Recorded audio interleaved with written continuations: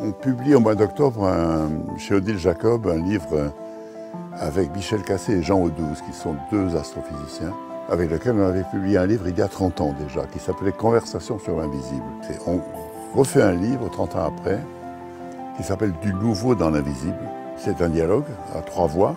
Je leur raconte chaque fois que la science touche à un mythe ancien, j'essaie de relier à des mythes très anciens, de quel qu'ils soient, grecs, indiens, euh, chinois.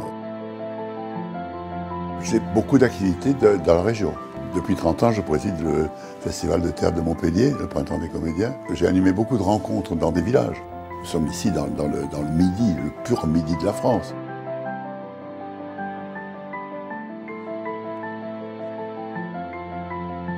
Chacun de nous, nous avons un lien particulier avec la terre où nous sommes nés. Quand je vais marcher seul, ce que je fais presque tous les jours dans la montagne, il y a quelque chose qu'on sent et qui est encore une fois indéfinissable. On peut dire simplement que si ce n'était pas là, ça manquerait.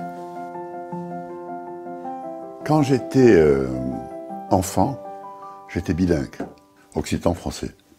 Fazen à la neit, la fenno, per si demai fa jour. Faisons un trou à la nuit, la femme, pour voir si demain il fait jour.